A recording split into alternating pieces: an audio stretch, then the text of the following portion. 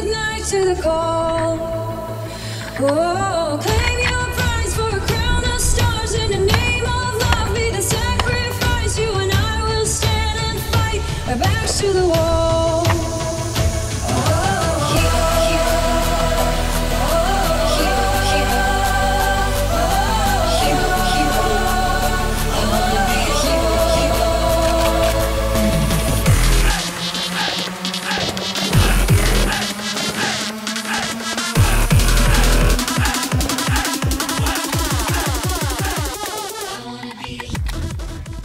Hi, I'm Genevieve D. I'm here for Raddlock TV, home of the innovative California compliance firearm product, where form always follows function. Today, I am going to show you how to install the AK Raddlock and the Special Tactical AK Raddlock release, otherwise known as the STARR Kit.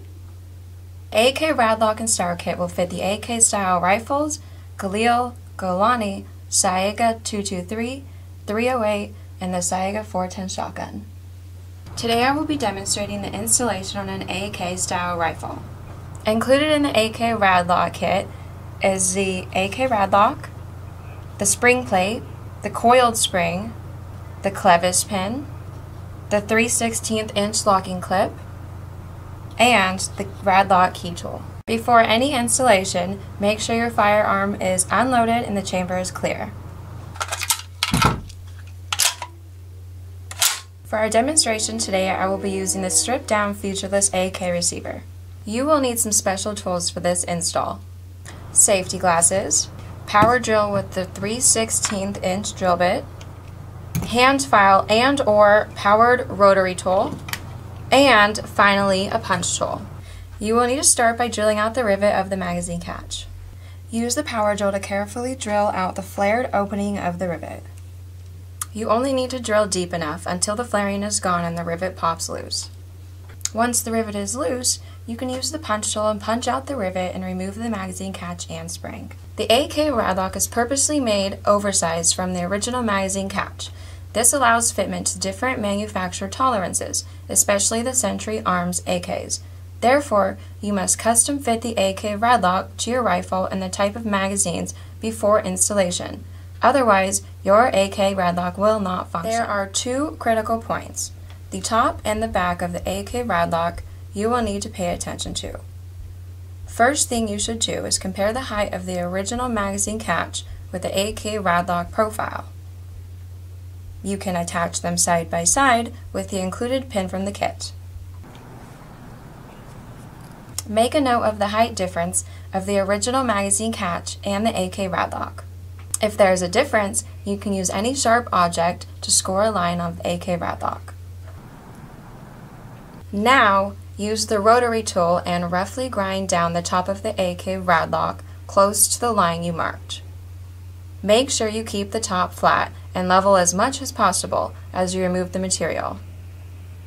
Then, finish it to the mark with a hand file and put a slight radius at the front leading edge so the corner is not too sharp. Next, you need to check the back side clearance of the AK Raddlock by attaching it to your receiver with the pin only. Rock it back and forth to see if it is rotating freely. If it is tight, then use the rotary tool or the file to remove some of the material from the back. Make sure you keep the same profile the AK Raddlock has as you remove the material. Then insert a 10 round magazine that you will be using with your rifle to test fit the AK Raddlock. Manually move the AK Raddlock to lock the magazine in and out. If the AK Raddlock is rotating freely and it can lock and unlock the magazine in, then you are ready for the final fitting. However, if the AK Raddlock does not rotate freely, then you may need to remove more material, either from the top or the backside. Remember, do not remove more material than you need to. Always test fit with every minor adjustment.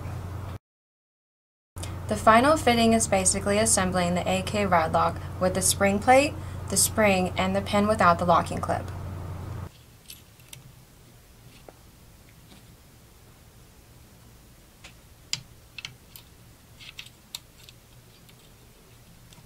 Then insert a 10 round magazine to see if the magazine will lock in place. If the AK Raddlock is properly fitted, you should hear a snap sound when the magazine locks in. Also, you should be able to use the key tool to release the magazine very smoothly. If the AK Raddlock is not moving smoothly, or the magazine is difficult to release, you may need to do some additional hand filing either at the top or the back side of the AK Raddlock. Now that your AK Raddlock is properly fitted and functioning, then you may install the locking clip to the slotted end of the pin.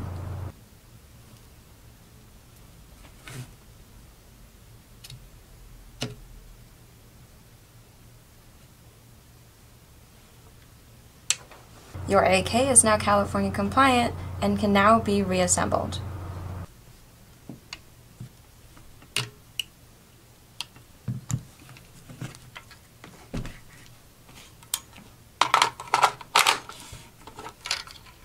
However, if you have purchased the optional special Tactical AK Raddlock release or the STARR Kit, then now is a good time to also test fit to your rifle.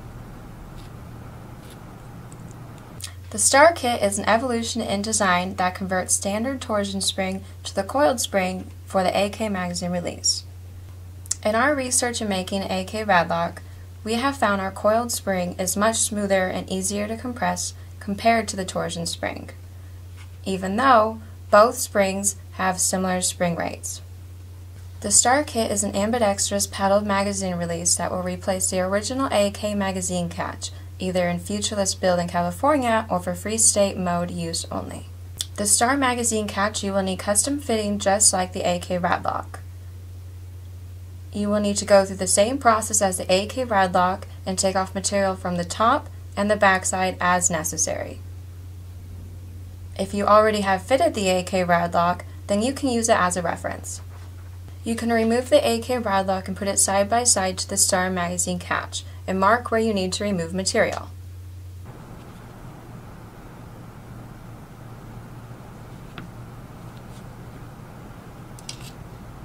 Here we have a STARR Magazine already properly fitted to the profile of the AK Raddlock that we installed earlier. Now we are ready to assemble our STARR Magazine catch. We are assembling a California Featureless AK for this demonstration.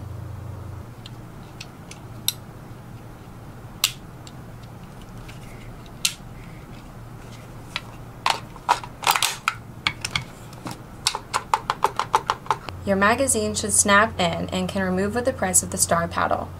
Remember, in California, featureless rifle means no pistol grip and no flash hider, but compensator is okay.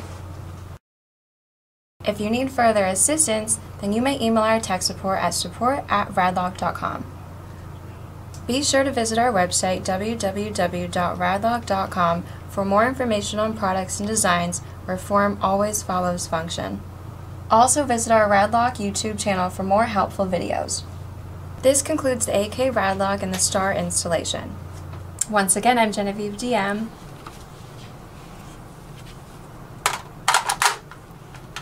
And I will see you at the range.